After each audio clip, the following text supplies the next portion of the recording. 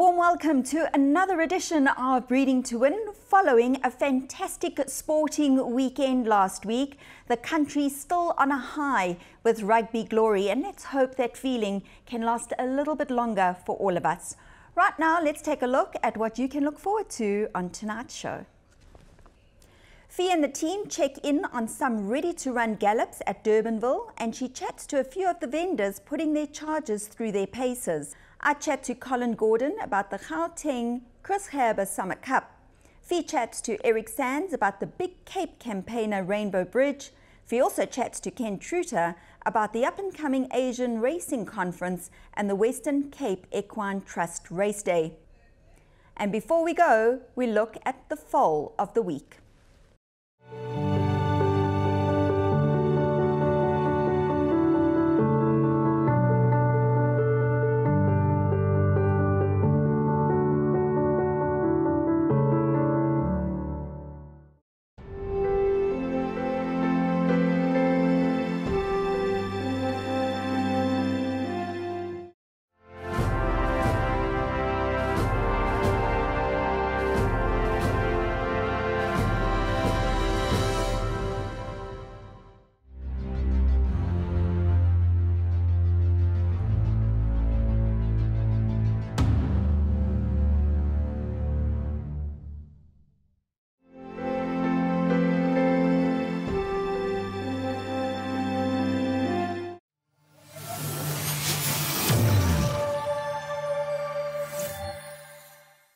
The CTS Ready to Run sale takes place on Friday, the 22nd of November at Durbanville Racecourse. Fee catches up with a couple of vendors and chats to them about their drafts. For more information, you can contact one of the CTS team, and their numbers are currently on screen.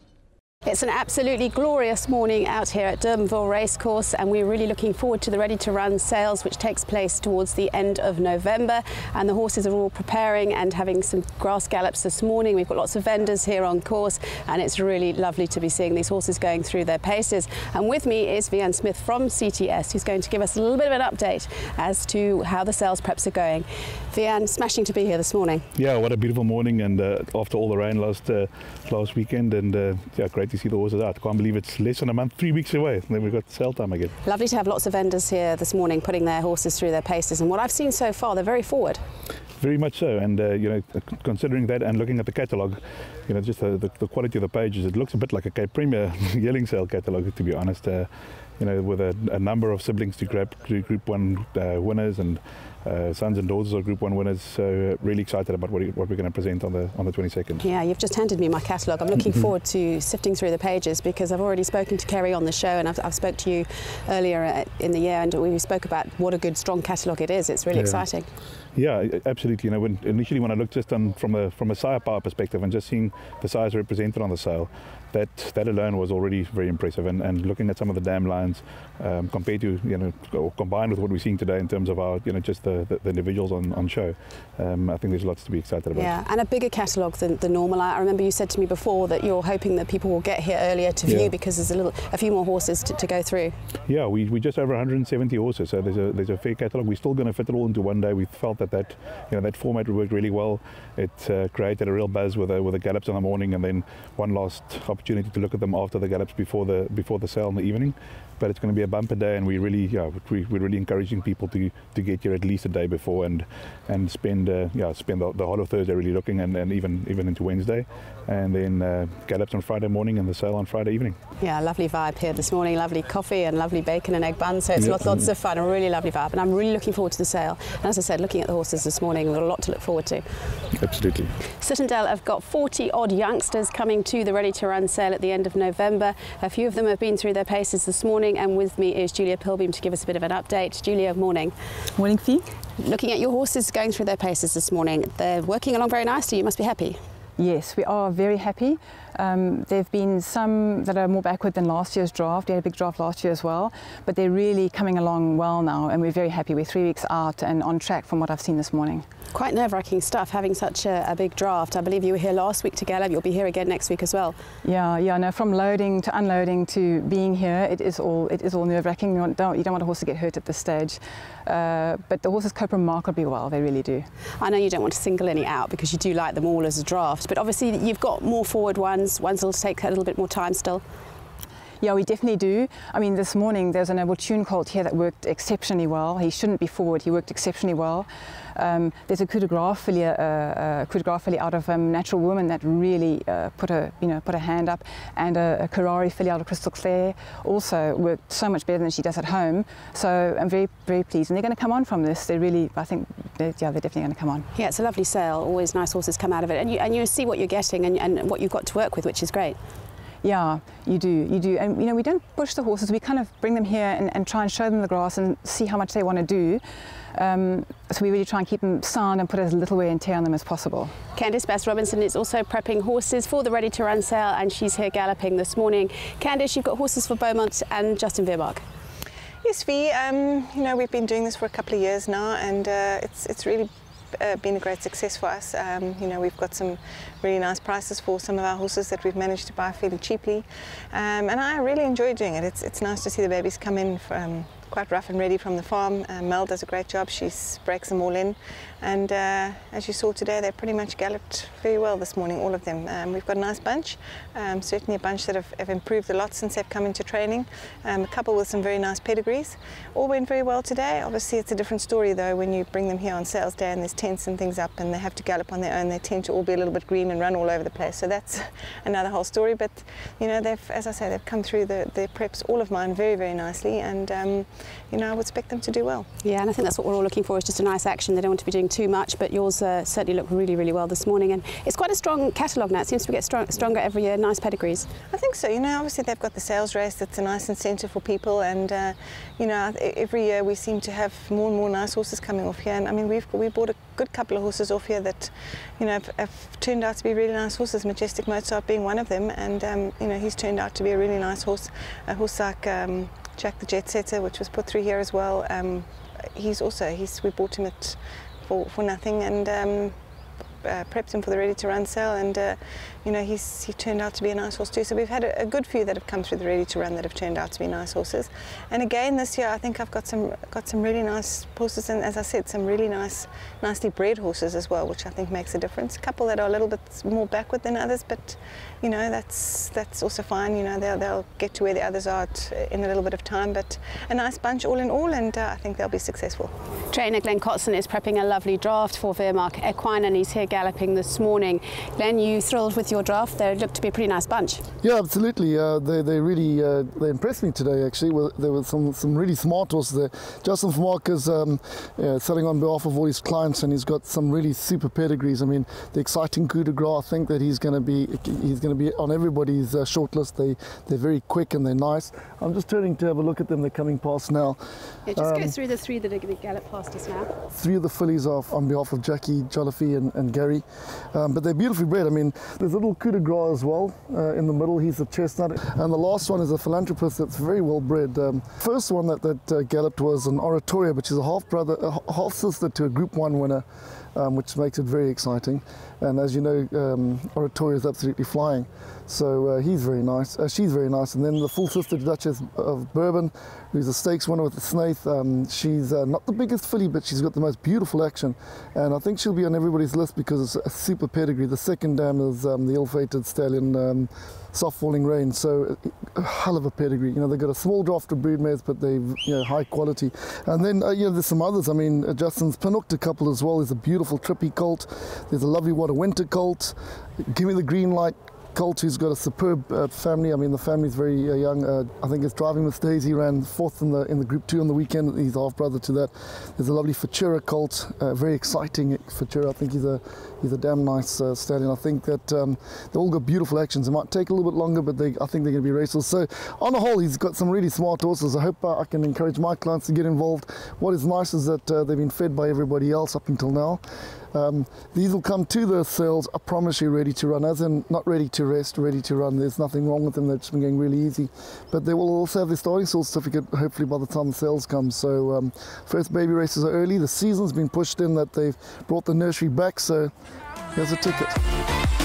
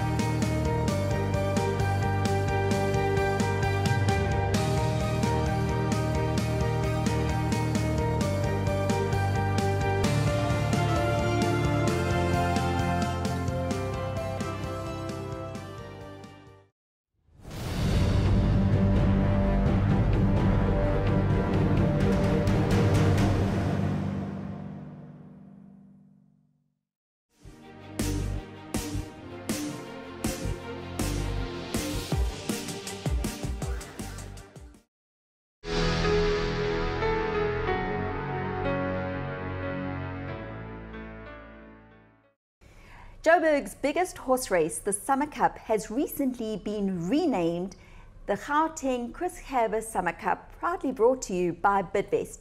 It's my pleasure to welcome into the studio colleague and friend of the late Chris Gerber, Colin Gordon. Col, lovely to have you back on the Breeding to Win show and in the studio again.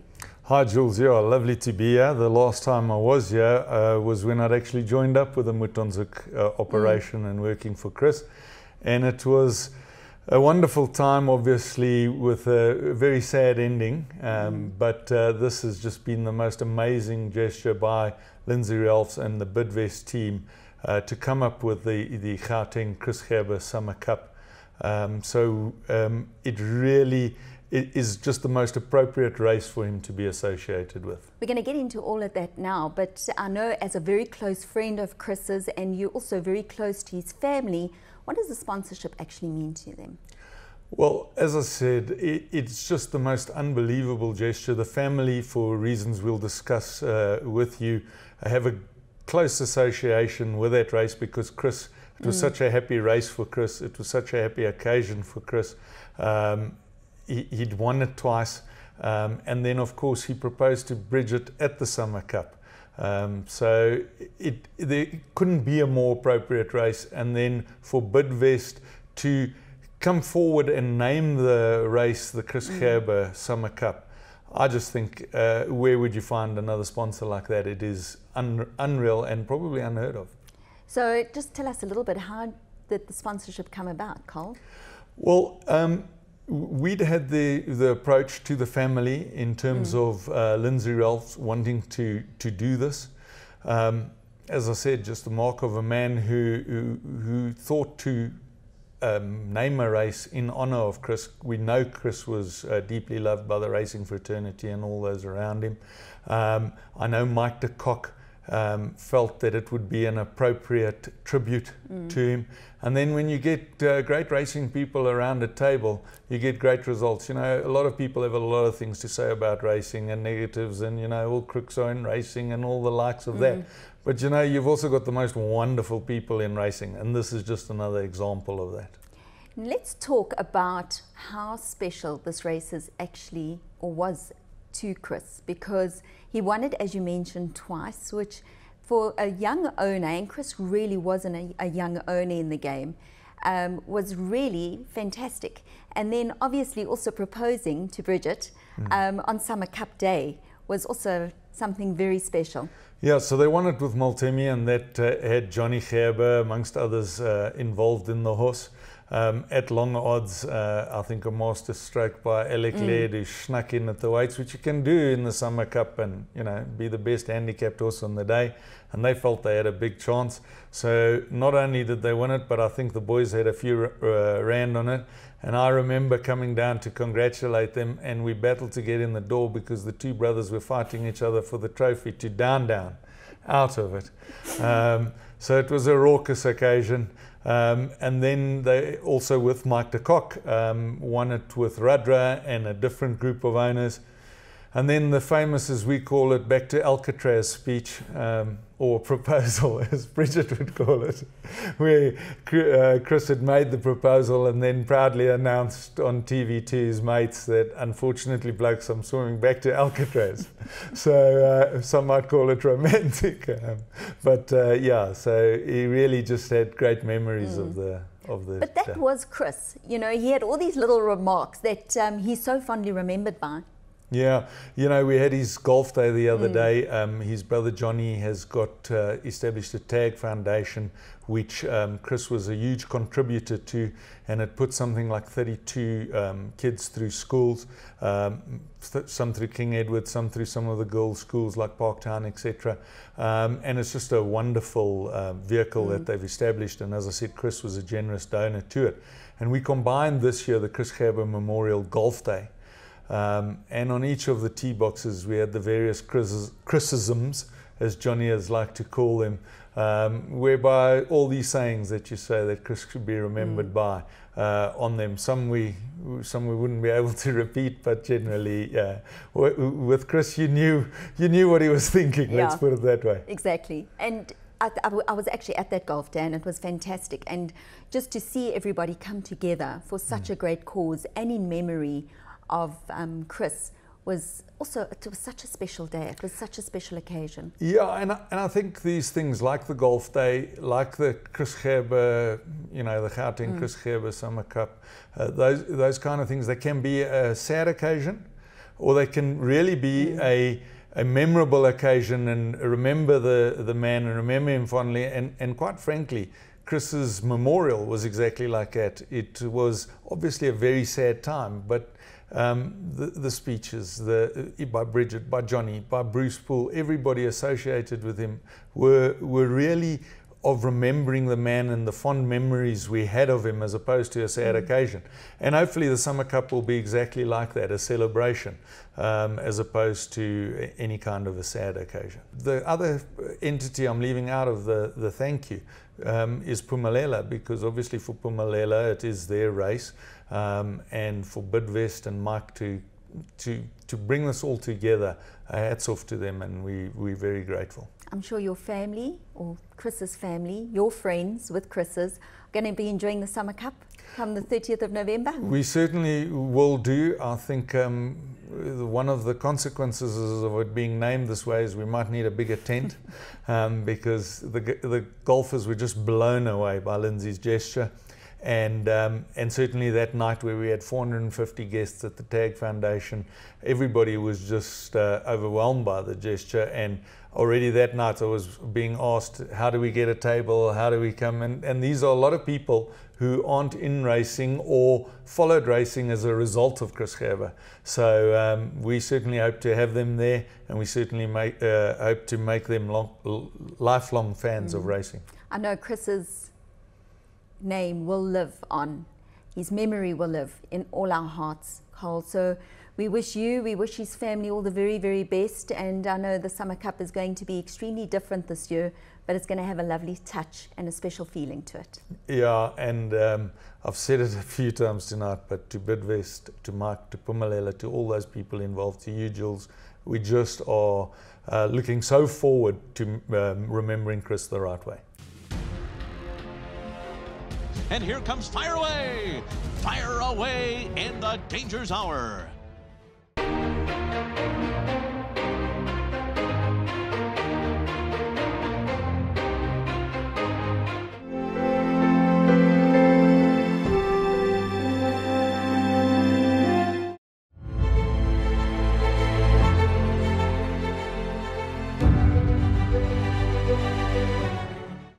Last year's Sun Met winner Rainbow Bridge hasn't been seen on a racetrack since winning the Grade 1 Champions Cup at Greyville Racecourse last season. Fee catches up with his trainer Eric Sands to find out about his plans for the up-and-coming summer season. We're already into the swing of the Cape summer season and the big races are coming up and one horse I'm certainly looking forward to seeing out on the track again is Rainbow Bridge. Of course he won last year's Met and he was a good second in the July and with me is Eric Sands to give us an update. Eric, thanks for taking the time to chat to us today. Uh, yeah, Rainbow, yeah, we're all looking forward to him myself especially I think. Um, he went for his break after this um, winter season and uh, I might have brought him back a little bit early. He was there just over a month. But he came so well so quickly that I had to ease off him again. Um, I just didn't want him peaking in November. Um, he's doing well at home. I can't, I can't ask for any more at this stage. He'll probably have his first gallop next week and uh, we'll work from there. Yeah, it was obviously so exciting when he won the Met for you. And then travelling to Durban, obviously it was a little bit of a worry because he, he does get a little bit upset in the parade ring and a little bit highly strung. But he took to the Durban season really well, didn't he? And he settled actually really well. He, he settled a lot better than he normally does. July, not, uh, July they cooked him a bit because they unloaded the horses uh, and, and, and uh, then he was really cooked. That uh, after the July post race, straight after the race, he was completely mad.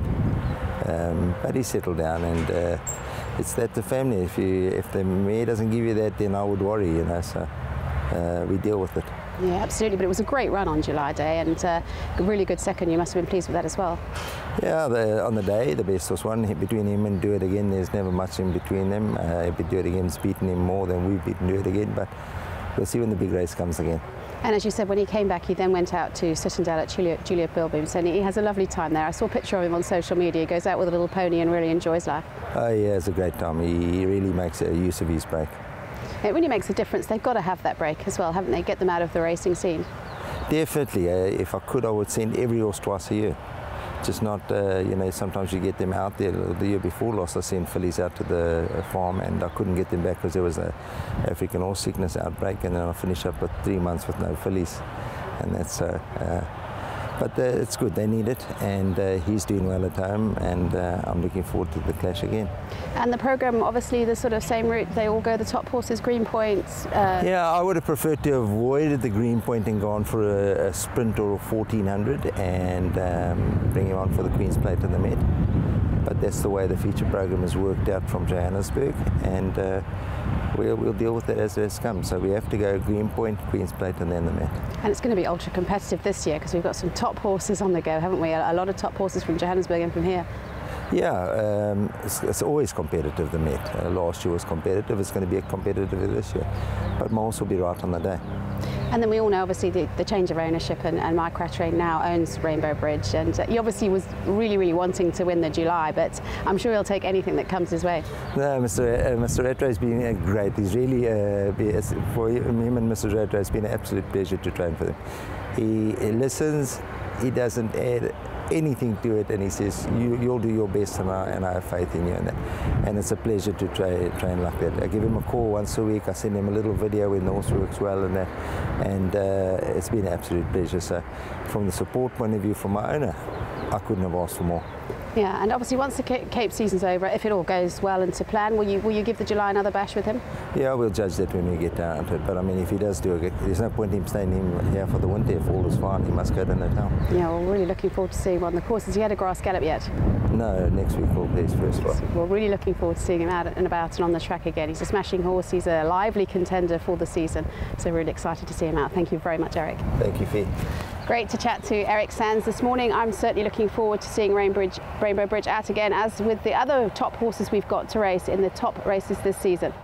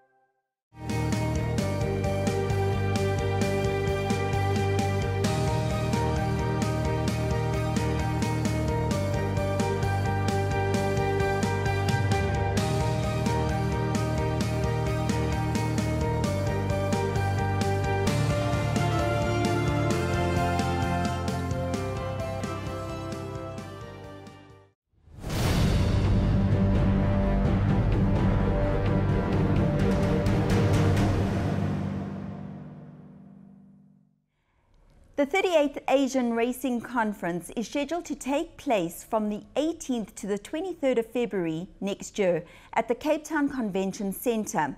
The chairman of the National Horse Racing Authority, Ken Truter, tells us more. The Asian Racing Conference is moving into its 38th year in 2020 and Cape Town is lucky enough to be hosting the conference in February and it's very kind of Ken Truter to take the time this morning to chat to us about the conference and let us know what is actually going to be going on in February. Ken, thank you very much for chatting to us today. Yeah, thank you. My pleasure, Fiona, and thank you for giving me the opportunity. Having the Asian Racing Conference here in Cape Town in February is a really, really exciting opportunity for us. It's going to be wonderful. Uh, absolutely, and I think it's, um, you know, I think the last time South Africa hosted a conference of this nature was in 95, which is quite some time ago, and um, there was quite a bidding process that we had to go through um, to, to actually uh, have it uh, given to us here in South Africa. And I'm pleased to say that we, we got through all of that and it was awarded to us in, in May 2018. And not only is it a huge conference with some really, really great speakers, I must say, looking at the list, we've got some wonderful speakers. It, there's a lot of other things revolving around it. We've got a, a race day, we've got a trip to the stud, we're showcasing our country, really. We are. I think this is far bigger than just racing. And um, there's a tremendous amount of interest in South Africa. And uh, what I found interesting is people want to come to Cape Town. Uh, I think that's helped us make it a bit of an easier sell. Um, and so we've had a tremendous response. Uh, as at Tuesday last week, I haven't got the latest figures, but as at Tuesday last week, we, we had almost 350 delegates registered from all over the world. Yeah, that's fantastic. I see you can register on the website as well if you want to get involved. On, on the website, absolutely. But now it starts the 18th of February. Um, it was going to be at the convention centre, obviously, the actual conference itself, through to the 23rd of February. But as I said, there's also going to be a trip to Drakenstein Stud. There's going to be a race day, will be the Paarl Festival. Um, and then, of course, other trips around Cape Town. It, it is. It's a, it's a very busy program, uh, which kicks off on Tuesday. Uh, when the business uh, program starts uh, running, and um, it's followed up on Tuesday night with an opening opening ceremony at the CTIC with a formal dinner, um, supporting bands, acts, and a whole lot of South African um, performers, uh, giving us that South African feel. So we've got some really entertaining things planned, including uh, Mango Groove playing there, and uh, with Claire Johnston, of course, and and other artists, local artists, um, flag waving ceremonies and all sorts of things. So I think it's going to be a, a, really exciting opening night, and I think we're all looking forward to it. Yes, Ken, talking of entertainment, I've seen there's going to be some really top names performing for everybody, and the speakers, the list of speakers are pretty special. We've got people from government all over the world. Yes, I think you know we've been very fortunate to have the backing of the Asian Racing Federation, um, and uh, with the assistance, they've helped us to put a business development program together that we believe is relevant, relevant to racing today, racing uh, dealing with issues that all racing jurisdictions around the world have to wrestle with. And uh, I think the important thing is, as, as, as we discussed, is the content of the program. After all, that's the real reason why we have the conference. Yeah, the conference is going to be great. It's going to be a real learning curve for, for many of us in South Africa and wonderful for them to see our way of racing in our country as well. Yes, yeah, I think as we said earlier, this is just a wonderful uh, opportunity to not just showcase South African racing, uh, but at the same time to showcase our country, um, which is most important, especially today. And everyone gets to visit Drakenstein Stud. I mean, that is a beautiful, beautiful stud farm to be visiting. It, it is, and uh, I think uh, we're very fortunate that we have someone like Gaynor Rupert who's always uh, so willing to help and assist the industry, and uh, we, we, are most grateful to her, and uh, I think that could be one of the highlights of the week. And of course, the, the Prawn Festival, the racing meeting that they will get to attend, is also a pretty special one as well. We always get a good attendance, and it's quite a fun and, and, and vibey meeting. Yes, yes. I think the, the racing clubs really, really came together and uh, supported us here because we wanted to have a special day for the conference. We, we didn't just want an ordinary midweek meeting, and uh, so I think they've readjusted their program for, for which we're most thankful. And we've now got, I think, five feature races on the day, including the Group 1 Derby which is which is quite exciting. They've repositioned it in the calendar, which I think would be interesting to see how that affects the horses and affects the program. It, it might work out very well. So yes, I think it's going to be an awesome day's racing and um, one I'm, I'm, sure people are going to really enjoy. I think it's a fabulous opportunity for Cape Town to be hosting this conference. It's going to be a wonderful week, isn't it? It is, and if I might just say, you know, it's not just those things. I mean, we've got on the Thursday evening, we've got a cultural evening. And the cultural evening is going to be at Kirstenbosch this year at Moyo Restaurant. And uh, we, we're going to have all sorts of local is good at this function, and I think it's one of the most beautiful settings in the world. So there's just another example of us being able to to showcase, um, you know, one of Cape Town's best attractions. Yes, what South Africa is all about. I see there will be tours to Robben Island. They can go up Table Mountain, Correct. and of course learn all about our Big Five. A lot of yes, absolutely. A lot of the delegates come out with their spouses or their partners. Um, and while they're at the conference, their wives have got a real choice of things to do, as you say, whether it's Robben Island, going up the mountain, doing a winelands tour. Uh, they'll be doing that. And uh, what I found most interesting is that uh, a lot of the delegates have booked to come out earlier or stay later and um, so they'll be moving on to game farms and other attractions around South Africa, which I think is wonderful from a South African point of view. Yeah, absolutely fantastic. I'm really looking forward to it. And a lot to be learnt, as I said, for us and, and for them.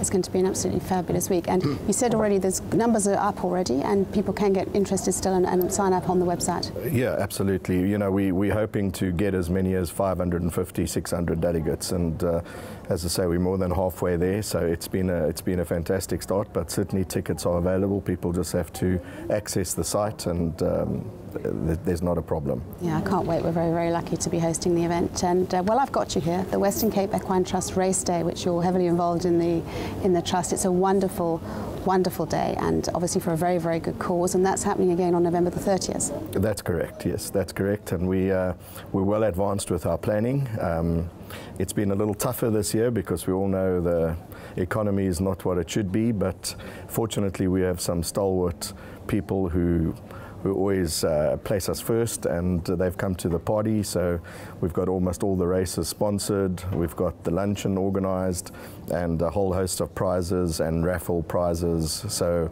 uh, very pleased with the way things have progressed. Yeah, it's a really good fun day and obviously for a very good cause. And I love seeing all your horses that have come off the racetrack and they're doing so well in their, in their new lives, whether it be show jumping, dressage, or just uh, somebody enjoying riding them. It's lovely to see. Yeah, well, I think it's a big thing. You know, there are a lot of horses that come off the racetrack, and what the Western Cape Equine Trust does is give those horses a, a second opportunity, as we like to say, be it as a riding horse and uh, just a horse, riding horse in the paddock, whatever.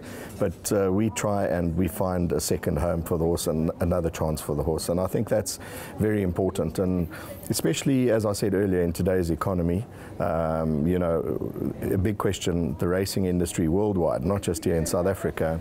And it'll be one of the topics that will be uh, on our business development program in the conference is what happens to two horses once they are finished with their race career. Yeah, I think it's some, something everyone's always very concerned about. So it's a wonderful race day, and people can still get involved with that. Uh, get your tickets on Web Ticket. Yes, it's on Web Ticket, and it's uh, 495, which includes a three-course luncheon and lots of other festi festivities. They're worth every bit, and for a very, very good cause. Ken, thank you very much for chatting to us. I look forward to seeing you at your race day at the end of November, and of course, we look forward to the conference in February. Thank you very much. Thanks very much, Fee.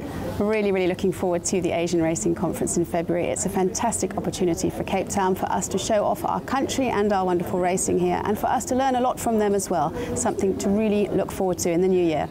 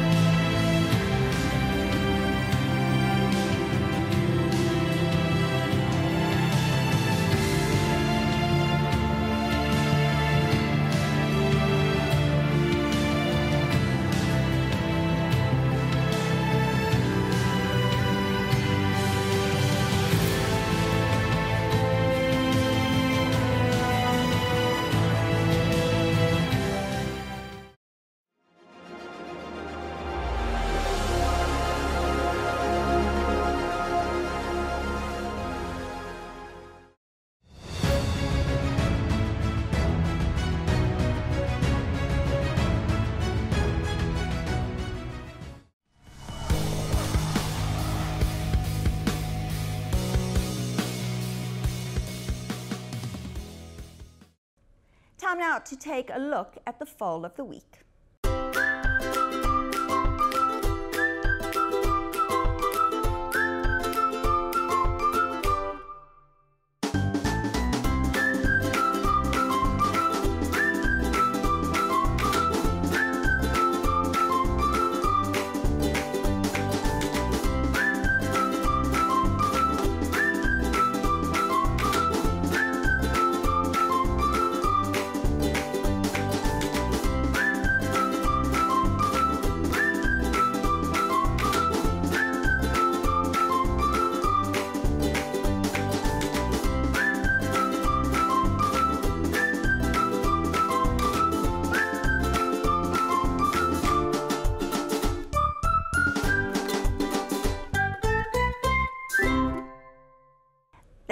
For this week's edition of Breeding to Win. Thanks to Fiona Ramsden, to Grant Knowles, and the rest of the Breeding to Win team. Until next time, good night.